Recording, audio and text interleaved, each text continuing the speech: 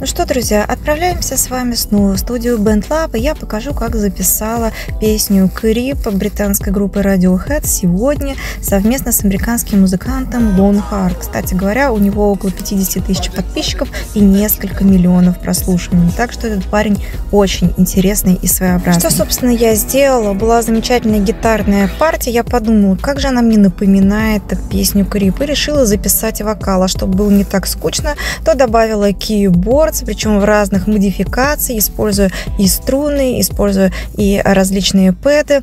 И, как мне показалось, получилось очень интересно. Если вы захотите, то можете прослушать эту песню в моем видео. А если вам понравилось, то будьте щедрыми поставьте лайк.